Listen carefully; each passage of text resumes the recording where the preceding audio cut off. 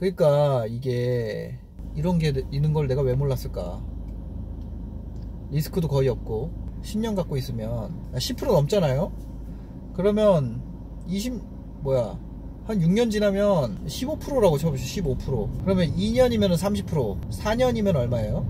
그냥 월세 안 올렸다고 했을 때 왜냐면 월세 안 올릴수록 더 잘 나갈 거 아니에요 1대1 코칭, 컨설팅 하지 않습니다. 어, 모든 노하우는 유튜브를 통해서만 공개될 거고요. 모두 다 무료입니다. 다만 좋아요와 구독 꼭 좀 부탁드리겠습니다.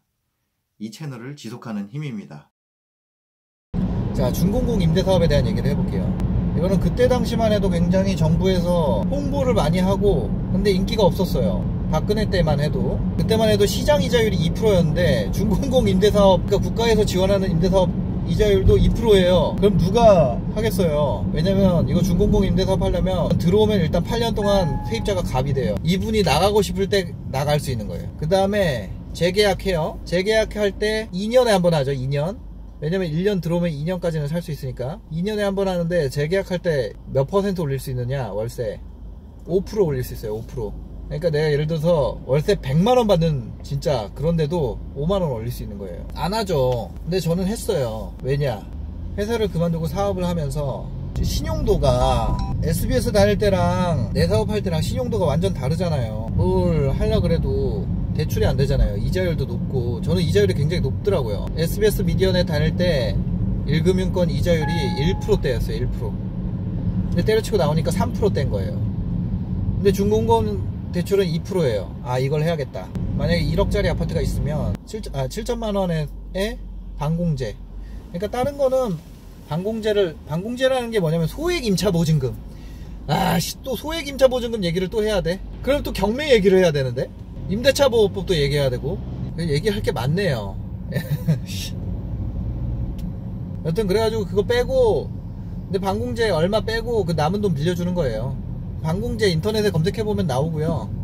근데 뭐 하나하나 다 해야죠. 생각 말하다 보니까 컨텐츠를 뭘 해야 될지가 나오네. 그래서 어쨌거나 저는 저의 자산 배분을 위해서 월세 상품에 대한 투자를 하기 위해서 준공공 임대 사업을 신청을 합니다. 그거는 우리은행에서 할 수 있고요. 임대 사업자를 내야 돼요. 하는 방법은 아주 간단합니다. 아파트를 하나 아니면 뭐 주택을 계약을 해요. 계약을 한 다음에 그 계약서를 들고 아 아니구나. 사업자 등록을 먼저 했던 것 같은데 아닌가? 아, 아 이게 좀 한지 오래돼가지고 잘 기억이 안 나는데 세무서에서 임대사업자를 먼저 안 했던 것 같아요. 일단 계약을 해요. 그러면 잔금하기 전에 계약서를 들고 어, 세무서에 갑니다. 세무서에 가면은 그 주택 머시기 뭐 이런 데 있어요 거기 가가지고 중공공을 임대사업자 하러 왔다 그래요 그러면 그 계약서 사본이랑 신분증이랑 뭐 몇 가지 서류 가져오라 그래요 그러면 그 서류를 주면 거기서 임, 그 중공공 임대사업 면허를 줘요 면허 그 면허를 들고 그 세무서를 가요 그럼 세무서 가면 세무서에서 임대사업자 등록증을 줘요. 만들어줘요.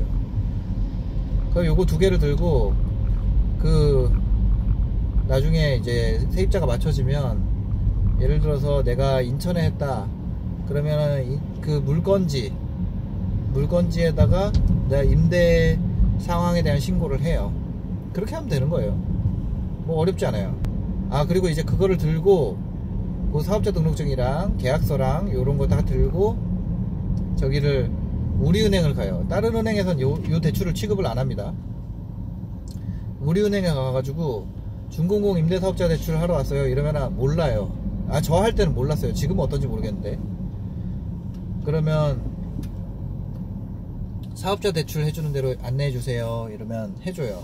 그럼 거기에 가가지고 매입 임대 사업자 대출 장기 요거 하러 왔습니다 하면은 그 사람 매뉴얼 보면서 이제 대출을 해줄 거예요. 근데 이건 재밌는 게 그걸 안 봐요. DTI. DTI가 그거 맞죠? 소득 대비 부채 상환하는 거 비율. LTV랑 DTI 이거 D DSR 뭐 이런 것도 시, 그때 공부 존나 열심히 했었는데 지금 뭐 다 까먹은 것 같아. 근데 여튼 여튼 그거 대출 해줍니다. 근데 그게 2%였어요. 그래가지고 그때 뭐 했냐 지금 가는 지금 이제 임대 계약 하러 가는 데는 인천 아파트인데 여기는 좀 가격이 높은 데고 여기보다 싼 데 있어요. 지방에 충청도 이런 데. 그런 데다 했죠. 8천만원 7천만원짜리 아파트에다가 월세를 놓기 시작했죠.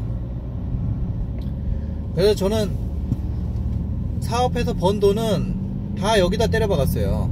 충청도 8천만원짜리 아파트 쳐봅시다. 여기가 월세 500에 40이에요. 겁나 싸죠? 근데 87에 56 5,600만원이잖아요? 그쵸?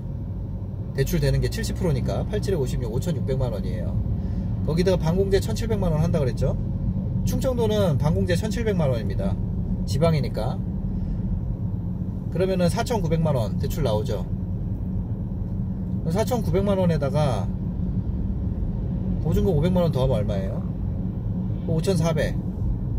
그 2,600만 원 있으면은 그 다음에 요 정도 대출 받으면 이자가 한 얼마 나오냐? 7만 원 정도 나와요 그러면은 얼마 들어갔죠 내 돈? 2,600만 원인가요? 2,600만 원 넣어가지고 한 달에 500에 40에서 이자 7만 원 빼면 얼마 나오죠? 그럼 33만 원 그럼 33만 원 곱하기 그냥 계산하기 쉽게 30만 원으로 할게요 360만 원 거기다가 분모가 2,500만 원이니까 10% 넘죠? 2,500만 원에 10%면 250만 원이고 15%면 300 얼마 되겠네요 그러니까 한 16% 되는 거예요 16% 16%라니 공실률 감안해도 10% 넘어요. 그러니까 이게 이런 게 있는 걸 내가 왜 몰랐을까? 리스크도 거의 없고 10년 갖고 있으면 10% 넘잖아요? 그러면 20 뭐야 한 6년 지나면 15%라고 쳐보시죠 15% 그러면 2년이면 30% 4년이면 얼마예요? 그냥 월세 안 올렸다고 했을 때. 왜냐면 월세 안 올릴수록 더 잘 나갈 거 아니에요 그러면 2년이면 30% 4년이면 60% 9년이면 100% 넘어가죠. 제 나이가 그때 몇 살? 33살. 내가 이거 10년 동안 둘, 굴리면 무조건 다 더블씩 나겠구나. 내 자산은 무조건 두 배가 되겠구나. 근데 이거 아파트 가격 오르는 거 생각 안 한 거죠? 10년 동안 인플레이션 해지는 그러니까 월세를 안 올려도 인플레이션에 대한 해지를 아파트 가격 자체가 해줘요 저는 43세 때를 보고 하는 거예요. 43세. 그래서 저는 다른 금융자산을 펀드 있잖아요. 글로벌 펀드. 요거를 안 하는 게 낫겠다. 요런 생각이 들어가지고 저는 돈을 벌면 그냥, 여, 그냥 똑같은 데를 똑같은 단지 똑같은 지역을 그냥 하나씩 사 모으기 시작했어요. 그러다 보니까 굉장히 좋은 점이 있었어요. 그 부동산에서 제가 VIP가 되는 거예요. 공실에 대한 공실률이 점점 낮아져요. 처음에는 한두 달이 공실인 거예요. 와 씨 멘붕. 내가 생각했던 것보다 수익률이 줄어들어. 10개월 10개월이야. 근데 나중에는 공실이 안 생겨요. 제가 거기서만 막 열몇 채 열 채? 이렇게 사니까 만약에 세입자가 나가잖아요? 그럼 저희 거 제일 먼저 채워줘요. 다른 부동산 옮길까봐. 다른 부동산에 물건 내놓지 말라 그래요. 왜냐면 사람들이 보러 오면 제 거 제일 먼저 보여줘요. 뭐 인테리어가 약간 좀 모자라도 아니면 뭐 층이나 향이 아주 조금씩 조금씩 차이가 있잖아요. 아파트 각 호수마다. 근데 제가 VIP가 되니까 거기서는 제 걸 먼저 보여줘요. 여튼 그런 식으로 돼가지고 공실률에 대해서 걱정이 굉장히 많이 줄어들고 그다음 계속 해결을 해주고. 그래서 여튼 뭐 시세 차익에 대한 부분은 사실 거의 생각을 안 하고 있고 여튼 월세만으로도 쏠쏠하다 월세로도 웬만큼 월급만큼은 받아요 굉장히 좋습니다 어 혹시 뭐 부동산 투자나 이런 거에 대해서 궁금한 점이 있으시면 그 네이버에 네이버에 그 유나바머라고 치면 뭐 약간 아웃사이더 같은 분 나오시거든요. 근데 실제로 보면 그 사진이 좀 그렇게 나와 있는데 근데 그분이 제가 봤을 때는 거의 원탑이 아닌가 그렇게 생각을 해요. 네, 지금 그렇게 해서 이제 부동산을 여러 채 가지게 됐고 적폐가 됐죠. 근데 이거 사실 적폐도 아닌 게 문재인 정부 들어가지고 저보고 이렇게 하라고 막 안내 책자 보내주고 이랬었어요. 그 뭐야 부동산 가면은 아 막 보도 자료로 그런 거 막 나오고 이런 거 하세요. 근데 저는 서민 주거 안정을 위해서 저는 주변보다 더 싼 임대료로 내놓습니다. 왜냐면 제가 그게 주소득이 아니기 때문에.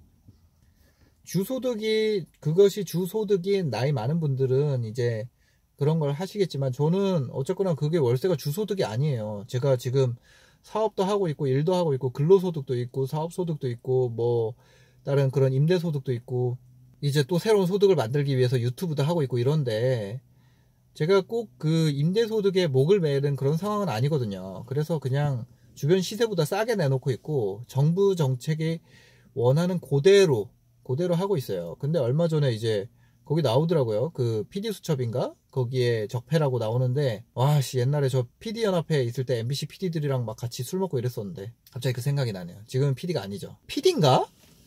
유튜브 PD죠. 지금은 지금은 신사임당의 PD입니다. 약간 이상한 정보도 있다는 거예요. 그게 뭐, 뭐 세금이 다 면제된다는데 세금 아니에요. 70, 70%인가? 뭐 감면되는 거지. 뭐 100%한 푼도 안 내고 이런 거 없습니다. 종부세도 감면되는 거예요. 그리고 소득세도 감면되는 거지. 소득세도 다 내는 거예요. 그러니까 뭐 세금 낼 거 다 냅니다. 제가 주변 머리가 없어가지고 잘 못 챙겨가지고 조, 그 종부세 신고 기간에 그거 하- 와 이번에 추석 껴가지고 진짜 짧았어요. 정신도 없고. 근데 그때 신고 못하면 그냥 종부세 얄짤없이 다 내야 되는 거 아시죠? 다 내야 돼요. 그거 임대사업자 중공공 임대사업자 그러니까 서민주택 주거 안정에 기여를 하고 있는데도 그 기간 지나면은 그냥 다 얄짤없이 다 내야 돼요. 그래서 이번에 오히려 세금 더 내죠. 법으로 정해진 거- 법정 세율보다 더 내고 있어요. 아 갑자기 생각하니까 짜증나네. 제가 지금까지 하고 있는 건 그거고 부동산 재테크에 대한 얘기는 뭐 이만 마무리를 짓고 이제 가서 우리 세입자님이랑 같이 또 계약을 해야겠네요. 그 표- 중공공 임대사업자는 계약을 할 때 부동산 계약서를 쓰는 게 아니고 표준 임대차 계약서라는 걸 써야 되거든요. 이렇게 표준 임대차 계약서 2 이렇게 써 있는 거 있어요. 제목으로. 근데 부동산 가면 잘 모를 수도 있어요. 그거 인터넷에서 다운받거나 아니면 우리은행에서 달라 그러면 주거든요. 그걸로 계약서 써가지고 계약하고 나서 그 계약서도 우리은행에 제출해야 되고 막 그런 게 있더라고요. 저는 이제 그만 저희 세입자와 표준 임대차 계약서 작성하러 가봐야겠네요. 아 이거 운전하면서 운전하는 시간을 이렇게 쓰니까 너무 알차네. 진짜 알차다. 오늘도 알찬 하루 되세요. 반갑 고맙습니다.